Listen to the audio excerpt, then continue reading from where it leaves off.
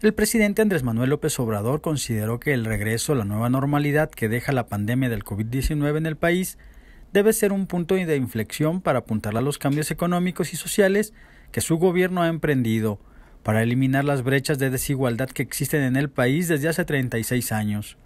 Por ejemplo, expuso que la conquista de la libertad y el derecho a disentir son una garantía para los mexicanos, ya que durante la emergencia sanitaria se ha podido domar la pandemia sin recurrir al autoritarismo. Por otro lado, manifestó su preocupación por los males crónicos que padecen miles de mexicanos como hipertensión y diabetes, y por ello consideró necesaria una política para revalorizar la educación de la salud y que sea impartida en escuelas y transmitida a toda la población a través de los medios de comunicación.